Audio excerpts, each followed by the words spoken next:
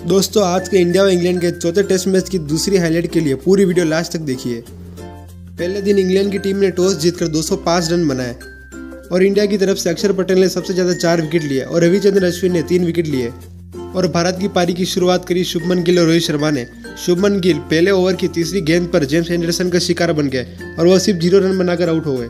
और अगले ही ओवर में रोहित शर्मा ने जैक लीज की तीन गेंदों पर तीन चौके लगा दिए और रोहित शर्मा सत्रह रन के स्कोर पर पहुँच गए थे।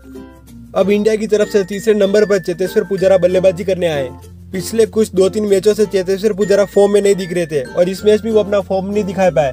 और जैक लीस ने चेतेश्वर पुजारा को एलबीडब्ल्यू आउट कर दिया। चेतेश्वर पुजारा अपनी टीम के लिए मात्र सत्रह रन ही बना पाए।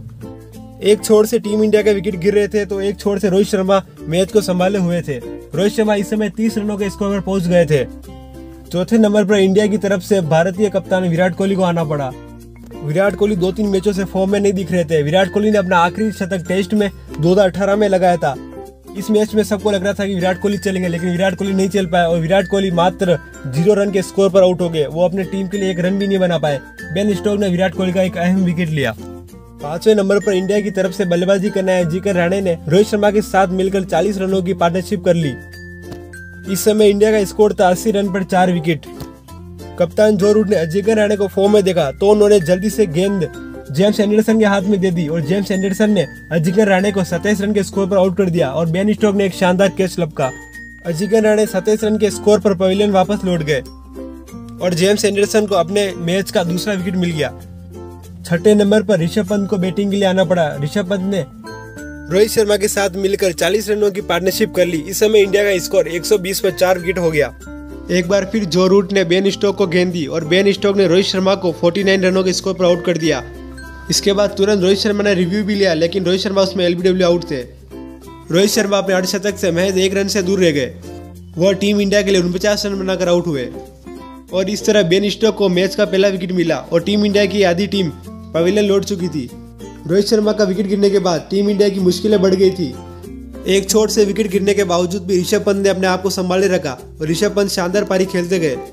इस समय टीम इंडिया का स्कोर 50 ओवर में 121 रन पर पाँच विकेट था और सातवें नंबर पर रविचंद्र अश्विन बल्लेबाजी करने आए। और रविचंद्रन अश्विन और ऋषभ पंत टीम इंडिया की पारी को आगे बढ़ाने लगे।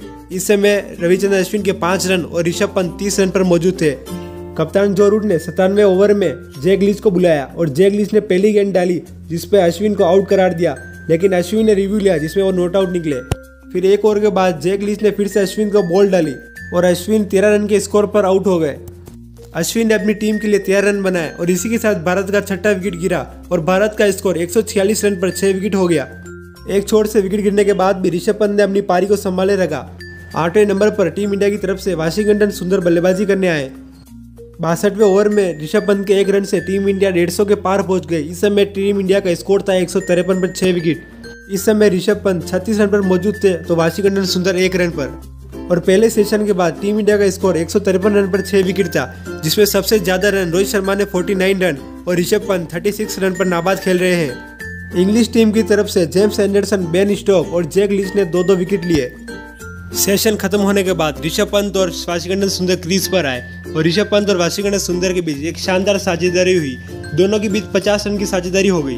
वाशिंगटन सुंदर और ऋषभ पंत ने Jack Leach, Ben Stokes, James Anderson को सबको धोया और ऋषभ पंत ने साठ गेंदों पर अपना अर्धशतक पूरा किया। एक छोर से ऋषभ पंत चौके छक्के मारी थे, उसी तरफ़ वाशिंगटन सुंदर भी उनके साथ मिल गए और दोनों ने टीम को खूब धोया। वाशिंगटन सुंदर ने भी पिचानवे गेंदों में अपना अर्धशतक पूरा किया। चौरासीवे ओवर में ऋषभ पंत ने छक्का मारकर अपना शतक पूरा किया। ऋषभ पंत की पारी देखकर रूट के भी पसीने आ गए। रूट ने जेम्स एंडरसन को बुलाया और जेम्स एंडरसन ने ऋषभ पंत को कैच आउट करा दिया। ऋषभ पंत ने अपनी सेंचुरी में 118 गेंदों में 101 रन बनाए, जिसमें 13 चौके और दो लंबे लंबे सिक्सेस भी शामिल है। अब फिर अक्षर पटेल बैटिंग पे अक्षर पटेल ग्यारह रन बना के खेल रहे हैं, वाशिंगटन सुंदर छियासठ रन बना के खेल रहे हैं। इसी के साथ आज का मैच समाप्त हुआ। आज के मैच में सबसे ज़्यादा ऋषभ पंत ने 101 रन बनाया उसके बाद रोहित शर्मा ने 49 वाशिंगटन सुंदर साठ रन पर खेल रहे हैं। और इंग्लैंड की तरफ़ से जेम्स एंडरसन ने तीन विकेट लिए, बेन स्टॉक और जैक लिस्ट ने भी दो दो विकेट लिए। दोस्तों, आपको क्या लगता है, ऋषभ पंत के शतक से टीम इंडिया और जीत पाएगी? हमें कमेंट बॉक्स में ज़रूर बताएँ। ऋषभ पंत का यह शतक आपको धुआंधार लगा।